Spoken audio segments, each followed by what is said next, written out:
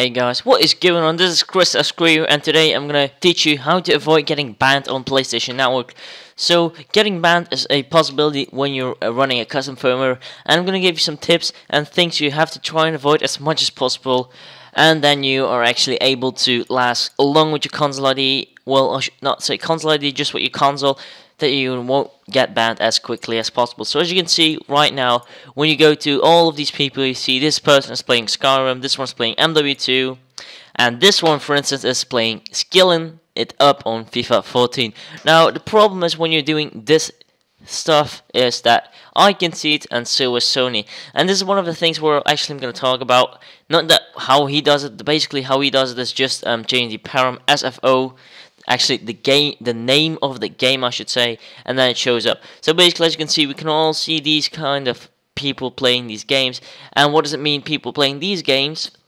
When we can see it Sony can see it as well. And whenever we're running a homebrew app for instance I'm running now I I want to run uh, Rebug Toolbox to get quickly FTP access well people and my friends will be able to see it as I will be signed in and now if people see that Sony sees it.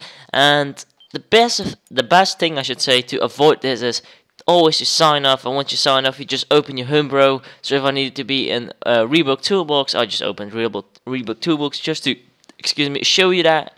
And then just that Sony does not see what is happening and sorry for the black screen. However it's go go now. Sorry I'm getting hit but hic, hic, hiccups hiccups whatever.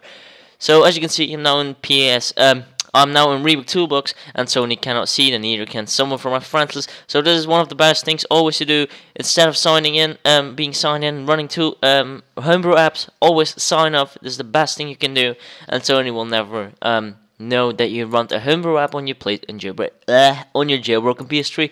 Now another thing is what is really helpful and this is this this package file PS Ninja. Now whenever you've run an um, F I mean, an homebrew package file on your PS3 and you assign then, the best thing is to just quickly sign out of your PS3.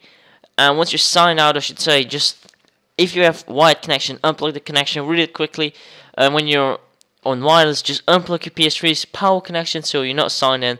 And then once you've done that, or you just stay signed in, you just close your homebrew and sign off. Doesn't really matter, but just do avoid as much as possible. Just try and get signed up as quickly as possible. And then you open up re um, PS Ninja, you click on the first one uh, cross, on the second one, and on the third one.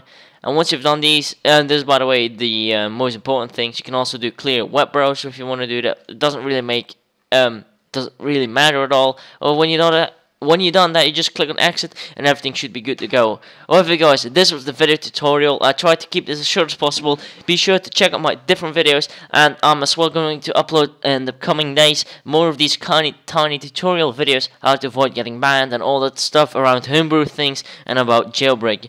Anyways guys, this was Chris Askew. Hope you enjoyed it. Don't forget to give this video a thumbs up, comment, rate, subscribe if you haven't, and I will see you in my next video.